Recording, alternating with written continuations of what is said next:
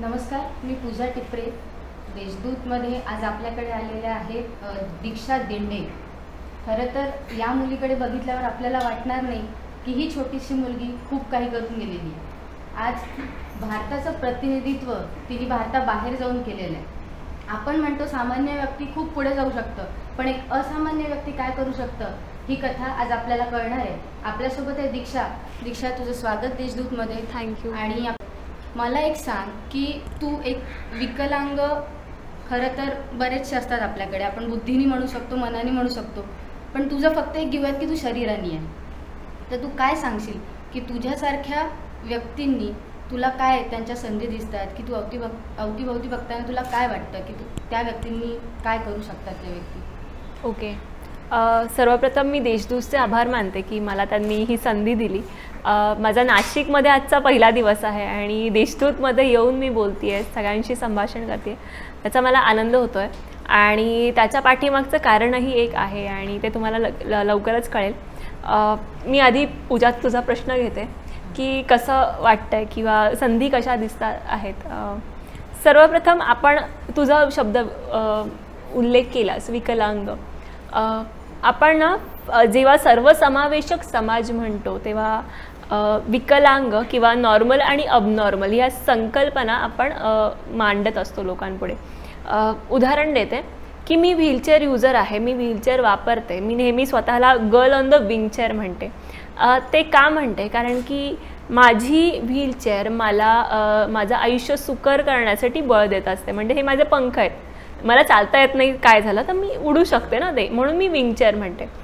तसंच कोणीतरी चष्मा वापरत असेल कारण की त्यांचं आयुष्य त्यांना चष्म्याने सुकर होईल. कोणीतरी हाय हिल वापरत असेल. ही एवढी साधारण गोष्ट आहे आणि आपण माझं माझं अपंगत्व किंवा ज्याला आपण दिव्यांग आजकाल जो शब्द वापरला जातो ते दिसतंय आणि कोणाचं दिसत नाही हा एवढा फरक असतो. त्यामुळे विकलांग हा शब्द वापरणं फार चुकीचं आहे किंवा एका मनुष्याला दुसऱ्यापासून वेगळं करणं कारण की त्याच्यामध्ये काहीतरी कमी आहे.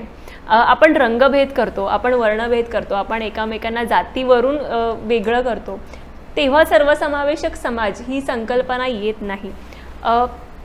मी पंचवीस वर्षाची आहे आणि या वयात आयडियल असतं प्रत्येकाचं जीवन. म्हणजे ग्रॅज्युएशन केलं तर पोस्ट ग्रॅज्युएशन एक नोकरी लग्न मूलबाळ हे असं आपण टिपिकल लाईफ म्हणतो सामान्य लोकांचं म्हणतो. मी सुद्धा सामान्यच आहे आणि मी विद्यार्थी आहे एक आणि मला असं वाटतं की मला आयुष्यभर विद्यार्थी राहायचं आहे. जेव्हा मी शिकणं थांबवेल तेव्हा मला वाटतं माझं आयुष्य थांबवेल. माणसाने रोज शिकत राहिलं पाहिजे. या स्टेजवर एक पंचवीस वर्षची मुलगी म्हणजे खूप यंग इन्थुझियास्टिक हे वय आहे माझं आणि मी कालच लोकशाहीचा जो काल उत्सव होता मी वोट केलं आणि मी आली आहे इथे. म्हणजे या वयात तुम्हाला काय करायचं आहे हे ध्येय तुमचं निश्चित पाहिजे. म्हणजे आपण जे म्हणतो स्वची ओळख असणं खूप गरजेचं असतं माणसाला. पण बरेचदा असं होतं की आज आजूबाजूची जी परिस्थिती असते किंवा घरची परिस्थिती असते त्याच्यामुळे असं होतं की आयुष्यात आपल्याला काय हवं आहे आणि आपल्याला काय पेळणार आहे ह्याची जाणीव होत नसते बरेचदा. मलासुद्धा मला सुद्धा काही काही अडचणी येत गेल्या आणि त्यातून मी शिकत गेली आहे शिकती आहे अजून. संधींकडे कसं बघतीये मी तर मी मला माहिती आहे की मला चालता येणार येत नाही आहे आणि मी तो फॅक्ट ॲक्सेप्ट केला आहे जेव्हा तुम्ही तुमच्या आयुष्यातला एखादा फॅक्ट ॲक्सेप्ट करता तेव्हाच तुम्ही पुढे जाऊ शकता. एखाद्या गोष्टीवर रडत बसणं हे किती चुकीचं आहे हे मला माझ्या आयुष्यात काही इन्सिडेंट घडले त्याच्यावरून मला कळालं. मी फॅक्ट ॲक्सेप्ट केला आणि मला आता फरक नाही पडत की माझ्यामध्ये एखादी कमी आहे म्हणून मी त्याच्यावर रडत बसेल. मला माहिती आहे मी सोशल मीडिया वापरू शकते व्यवस्थित. मला माहिती आहे माझं नेटवर्किंग खूप छान आहे. त्याच्या मदतीने माझ्या काही संधी जे मी बघते कुठेतरी नोकरी करण्यापेक्षा स्टार्टअपच्या माझ्याकडे काही आयडियाज आहेत आणि मला त्या एक्झिक्यूट करायच्या आहेत. मी मला माहिती की मी घरी बसल्या मी जग हदरू शकते एका माझ्या बोलण्याने. मग का आपण एक यूथ म्हणून ह्याच्यात एक काय म्हणतो आपण की आपण रिस्क घेत नाही आयुष्यात. तो थोडासा रिस्क घेणं खूप गरजेचं असतं आणि आपल्या पॅरेंट्सचं पण सपोर्ट आपल्याला असणं तोही फार गरजेचा असतो. म्हणजे एक मूल आणि आपले आई वडील जेव्हा दोघांचाही आवड निवड से- समान होते किंवा मूलसुद्धा आई वडिलांना तेवढाच रिस्पॉन्स देतं आणि आई वडिलाही मुलाच्या आवडीनिवडीला तेवढाच रिस्पॉन्स देतात तेव्हा कुठेतरी ते एक सम्यक जुळतं आणि मग चांगलं चांगलं घडत जातं. माझ्याकडे संधी आहेत की मी बिझनेस ॲडमिनिस्ट्रेशनची स्टुडंट आहे त्यामुळे मला पर्सनल ब्रँडिंग मला हे खूप माहिती आहे. ही गोष्ट मी शिकली आहे. त्यामुळे मला स्वतःचा ब्रँड तयार करायचा आहे. असं नाही की मला कोणाला फॉलो करायचं मला माहिती मला लाखो जणं फॉलो करणारे आहेत. त्यांच्यासमोर दीक्षा दिंडे हे एक एक्झाम्पल झालं पाहिजे की तू एक सामान्य आहेस. मी सुद्धा सामान्य आहे. जर मी हे करू शकली आहे तर तू सा सहज करू शकतेस. का तर मला फक्त माझ्या आईवडिलांनी सपोर्ट केला आहे मला माझ्या फ्रेंड्सनी सपोर्ट केला. म्हणून मला ही संधी मिळाली आहे. उद्या तू इथे असशील तू इथे बोलशील. हा एवढा फरक आहे. होतं कसं की लोकांना संधी असतात पण त्या कळत नाहीत. सो मला असं वाटतं की माझ्यासारखी जी मुलं आहेत त्यांना मी आहे मदत करायला. कारण की मला लीडर नाही व्हायचं आहे मला लीडर क्रिएट करायचं आहे. सो त्यासाठी आपण काय करू शकतो? तर ब ब्रँडिंग तर होणारच आहे पण बाकीच्यांच्यासुद्धा नावाचा ब्रँड कसा तयार होईल त्याच्यावर आपण लक्ष फोकस फोकस करायला हवं. आपण आता याच्यापासून जरा थोडं एकदमच वेगळं जाऊया. वयाच्या तेविसाव्या वर्षी हं. युनायटेड नेशन्सच्या वर्ल्ड ॲट स्कूलची तू शिक्षण एक ब्रँड अम्बॅसिडर झाली. हो. ब्रँडचा आता जस्ट आपला एक विषय झाला. Global youth ambassador global youth ambassador yes brand ambassador related to तर काय म्हणजे त्याच्याविषयी काय सांगशील की तो प्रवास कसा काय होता? ओके युनायटेड नेशन्सच्या खूप साऱ्या फेलोशिप्स असतात इंटर्नशिप्स असतात. मला माहीत नव्हतं. इंटरनेटवर कधीतरी यू पी एस सीची तयारी करते त्यामुळे युनायटेड नेशन्सचे संबंध यायचा किंवा युनोच्या काही कॉन्फरन्सेस होतात त्याचा संबंध यायचा. आणि युनो वर्ल्ड वाईड जे काम करतं आहे पीस बिल्डिंगवर त्याचा त्याची थोडीफार माहिती होती. युनोच्या इंटर्नशिप्स असतात युनोच्या फेलोशिप असतात त्याच्याबद्दल इतकं काही माहीत नव्हतं.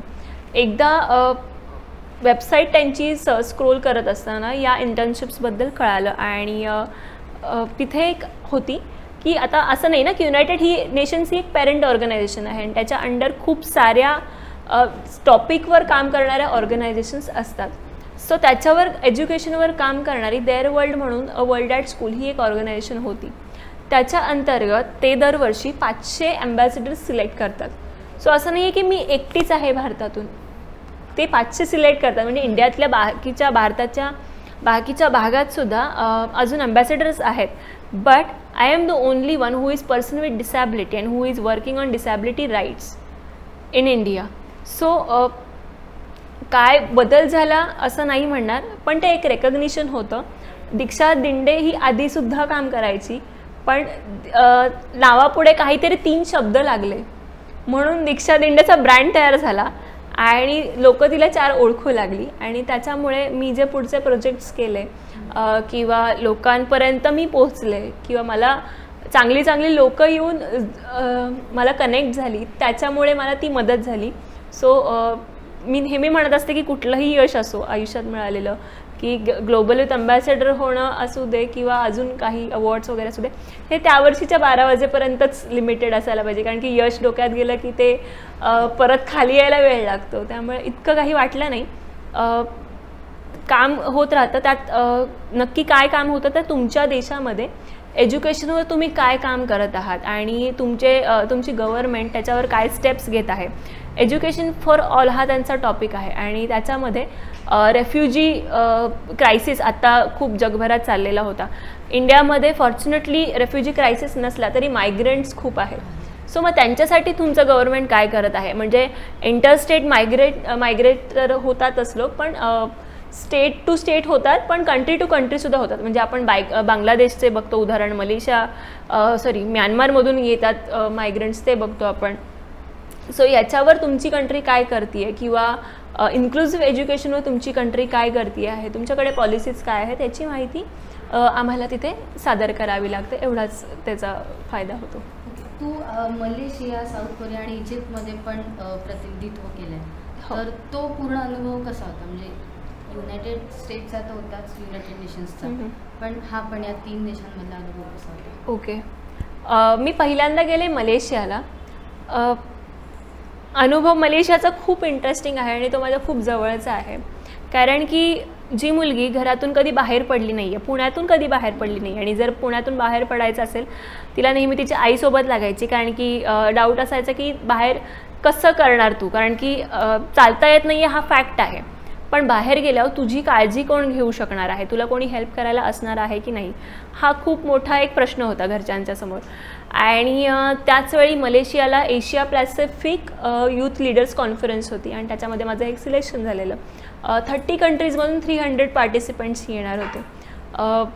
मी कधीही नातेवाईकांच्या घरी गेले नाही कारण की कोणी मला बोलवलंच नाही बेसिकली का तर तू तुला चालता येत नाही आहे मग थोडीशी आम्हाला रिस्क काळजी घ्यावी लागेल. आणि माझ्यामुळे माझ्या आईला पण कुठे जाता नाही आलं. का तर ती ती गेली तर तिला कोणी मा म्हणजे आई गेली तर काय म्हणतो आपण माझं काळजी कोण घेणार? हा प्रश्न असायचा. पण आता डायरेक्ट मलेशियाला जाते मुलगी हा खूप मोठा एक चॅलेंज होता माझ्यासाठी. ते म्हणतो ना living out of your comfort zone ही वेळ येणार होती माझ्यावर. मी जे कॉन्फरन्सचे होते ऑर्गनायझर्स त्यांच्याशी बोललेले की माझा असा असा प्रॉब्लेम आहे आणि आपण कसं करू शकतो? मला इतके दिवस ना मला इतकी वर्ष रिजेक्शन मिळायचं की सॉरी मॅम आमच्याकडे असे काही फॅसिलिटीज नाही आहेत की जे आम्ही तुम्हाला प्रोव्हाइड करू शकतो. आणि मी मलेशियाला जेव्हा सांगितलं की I am a person with disability मला काहीतरी असिस्टन्स लागेल ते म्हणे don't worry we will take care of it त्यांनी विश्वास दाखवला एक थोडा आणि त्यांनी मला फायदा झाला की मला कॉन्फिडन्स वाटलं की ठीक आहे मी जाऊ शकते ॲटलिस्ट ते हो म्हणाले. मी इथून आम्ही इथून गेलो मुंबई एअरपोर्टवरून मला माझी फ्लाईट होती आणि मी गेल्यावर एअरलाईन्सवाल्यांनी मला सांग डिटेन केलं की ते म्हणे की सॉरी मॅम आम्ही तुम्हाला अलाव करू शक करू शकत नाही. मी म्हणलं का करू शकत नाही? ते म्हणे तुमची तुम्ही एकटे आहात. मी म्हणले मी जर माझी काळजी घेऊ शकते तर तुम्हाला प्रॉब्लेम काय आहे?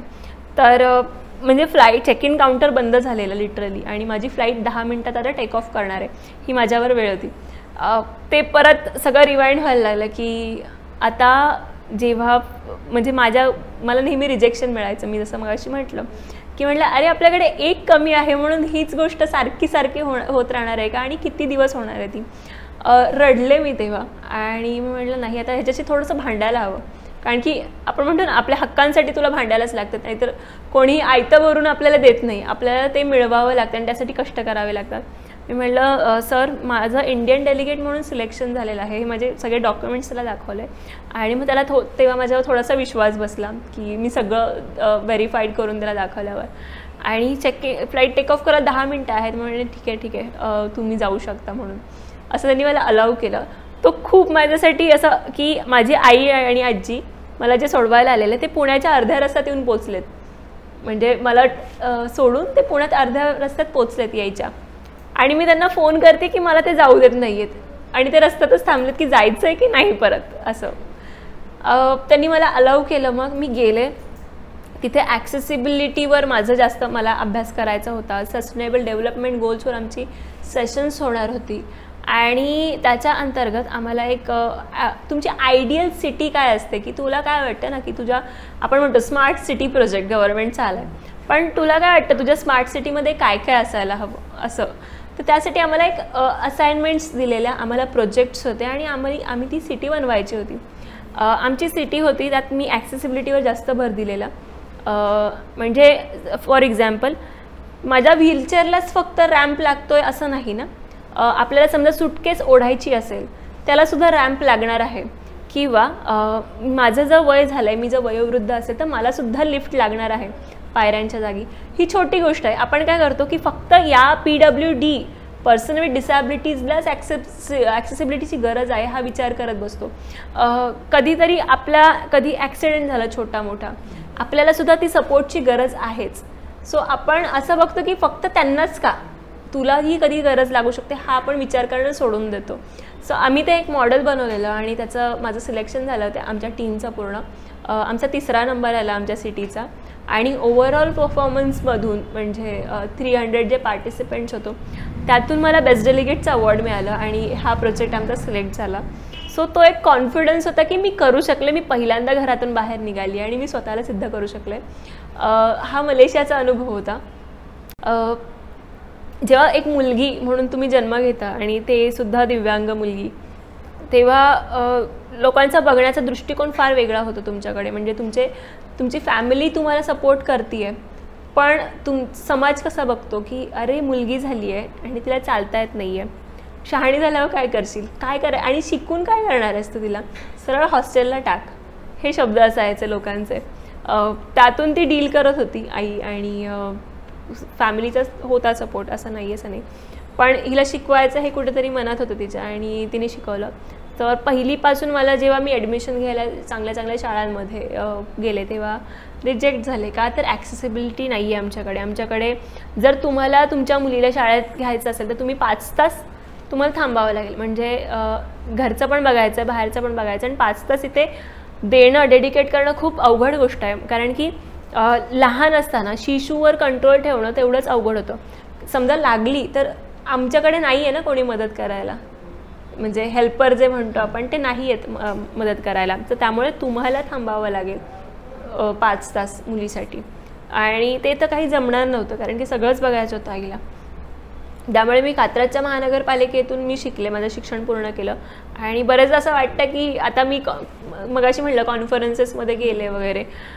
तो थोडासा न्यूनगंड असायचा आधी की आपण ना चांगल्या शाळेत नाही शिकलो आहे आपण कॉर्पोरेशनच्या शाळेत शिकलो आहे आणि आपल्याला इंग्लिशचा फोबिया आहे असं वाटायचं. आणि मग मी आता म्हणते की डझन मॅटर तुम्ही कुठून आला इट डझन मॅटर तुमचा पास्ट काय होता किंवा तुम्ही कुठे शिकलाय तुमचं मीडियम काय होतं. काय मॅटर करतं की तुम्ही आज तुम्हाला काय बनायचं तुम्ही ठरवलं आहे हे मॅटर करतं तुम्हाला आयुष्यात. आणि असं शिक्षण पूर्ण केलं माझं माझं. त्यातून आईला त्रास होऊ नये म्हणून मी माझं पाणी पिणं कमी केलं. मी खाणं कमी केलं का तर वजन वाढलं तर मग तिला उचलावं लागेल. मग त्यामुळे ती कमी जेवणाची कमी पाणी पिण्याची सवय लागली. ह्या ह्यात सगळं होत होतं डील होत होती. दोन हजार पाच साली माझ्या बाबांचा ॲक्सिडेंट झाला आणि त्यातून ते मेंटली चॅलेंज झाले. सो त्यातून ती तिने रिकवर केलं त्यांना आणि मग ती टेलरिंग काम चालू केलं. ती आता रांगोळी आर्टिस्ट आहे. सो तिला मग जेव्हा एक स्त्री म्हणून मी बघायचे तेव्हा मला असं वाटायचं की आपण ह्या ह्या बाईच्या मागं खूपच आपल्या त्रास आहे. त्यापेक्षा आपण आपण नसतो किंवा सुसायडलचे आपण जे म्हणतो विचार यायला लागतात ते तसं यायला लागले की आपण नसतो तर की आयुष्य तिचं कमी झालं असतं ना त्रास कमी झाला असता. आणि हे येत असतानाच सगळं होत असताना तिला बाहेरचे पण टॉन्ट्स होते की बाई एक स्त्री म्हणून लोकांचा बघण्याचा दृष्टिकोन कारण की अख्खं घर सांभाळायचं आहे बाईला. आणि मग म्हणणार लोक काय नवरा आहे? बसून खातो. म्हणजे कामं केलं तरी बोलणार आहेत आणि नाही केलं तरी बोलणार आहेत. त्यात लहान बहीण आहे तिची जबाबदारी होती. सगळ्या फ्रंटवर तिला बॅटिंग करायची होती. आमचे बाम सर असे म्हणतात one ball at a time तसं नव्हतं. तिला सगळे बॉल एकाच वेळी येत होते आणि तिला सगळ्या फ्रंटवर ती बॅटिंग करणं फार गरजेची होती. सो मी तिच्याकडून फार शिकत गेले आणि असं वाटलं की जी बाई आपल्यासाठी एवढं कष्ट घेते त्यासाठी आपण हार म्हणून किंवा आयुष्य संपवून वाग राहणं खूप चुकीचं आहे. आणि त्यातूनच माझं ग्रॅज्युएशनपर्यंत माझं शिक्षण मी पूर्ण केलं. फायनान्शियली क्रायसिस होता. मुंबईची एक संस्था आहे विद्यादान म्हणून त्यांनी मला पूर्ण सहकार्य केलं फायनान्शियली आणि त्यातून मी जेव्हा यू पी एस सीची तयारी करत होते का घरी एक इन्सिडेंट झाला आमच्या की काही मुलं आलेली मुली मुलगी होती एका आश- अनाथाश्रमातली. आणि तिच्याशी गप्पा गोष्टी आपण करतो ना की गणेश जयंती होती मग त्यांना जेवायला बोलवलेलं त्यांना सगळ्यांना वाड्यात आमच्या. मग ती मुलगी मला म्हणाली की ताई तू एक काम करशील तू कलेक्टर झालीस ना तुम्हाला इथून घेऊन जा. So that was a turning point for me मी म्हणलं की अरे आपल्याकडे सगळं आहे आणि आपण रडतो आहे आणि ह्या मुलीकडे काहीच नाही आहे सो आपण नेहमी देवाला कंप्लेंट करतो ना की मला हे पाहिजे माझ्याकडे हे नाही आहे माझ्याकडे ते नाही आहे आपण देवाला कधी थँक्यू म्हणलो आहे का? की तू मला ॲटलिस्ट मला दिसतंय मला बोलता येत आहे माझी बुद्धी शाबूत आहे. आपण त्याच्याबद्दल कधी Roshni N G O start करण्यामागची inspiration आणि ही जी मुलगी होती ती ती मला म्हणाली की ताई तू मला इथून घेऊन जा सो ती अशी का म्हणते कारण की तिला काहीतरी प्रॉब्लेम असते आणि मी तिला एक तासापूर्वी भेटली ती ती मे विसरली सुद्धा असेल मला माहीत नाही. पण ते माझ्यासाठी खूप महत्त्वाचं होतं. आता मी रडत होते माझ्याकडे एक गोष्ट नाही आहे माझ्याकडे हजारच्या गोष्टी आहेत त्याच्याकडे मी दुर्लक्ष करून एक गोष्ट नाही आहे त्याच्यावर मी फोकस करत होतो.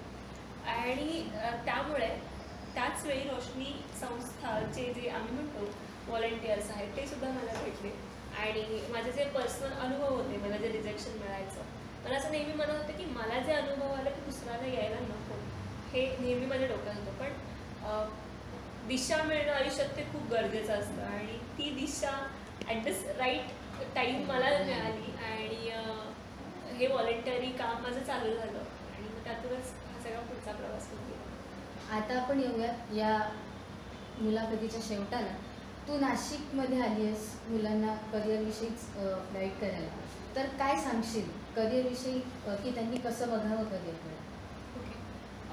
मी नाशिकमध्ये येण्याचा उद्देश म्हणजे मला दोन गोष्टींवर बोलायचं आहे. एक म्हणजे सोशल आंतरप्रनरशिप आणि दुसरं म्हणजे टुरिझम कारण की मी ॲडव्हेंचरमध्ये या कंपनीसाठी काम करते ॲडमिनिस्ट्रेशनसाठी कसं आहे आपण बरेचदा किंवा पालकसुद्धा बरेचदा मुलंसुद्धा बरेचदा typical lawyer M B B S किंवा U P S C F P S सीचं पुण्यात जर आजकाल फॅड बघितलं तर प्रचंड आहे. पण त्याही पलीकडे जाऊन ज्या करिअरचे ऑप्शन्स असतात ते मुलांना माहीत नसतात. म्हणजे मी मगाशी असं म्हणलं की माझी आवड होती. की सोशल फील्डमध्ये मला काम करायचं ही माझी आवड. आहे मग सोशल फील्डमध्ये मला काय करायचं आहे काम? तर मला ॲडमिनिस्ट्रेशनचं काम करायचं आहे मग ॲडमिनिस्ट्रेशनचं मला काम कसं करायचं? तर पॉलिसी मेकिंगमध्ये जाऊन मला काम करायचं आहे म्हणून मी U P S C M P S C करते. आणि त्यासाठी जेवढी कनेक्टिव्हिटी कनेक्ट लोकांना होत आहे ते मी करत असते. पण यातूनच मला काही सोशलच्या समोर आयडियाज असतील मी ज्या इम्प्लिमेंट केल्या त्याच्यामुळे जर लोकांना रोजगार मिळत असेल तर it is social entrepreneurship right tourism मला फिरायला आवडतं. हां? तर मी त्यातून काय करू शकते? तर मला आवडतं आणि माझ्यासाठी अवेलेबल असणारे मित्रमैत्रिणी खूप आहेत. की ते म्हणतात तुला फिरायचं आम्ही तुला नेतो फिरायला.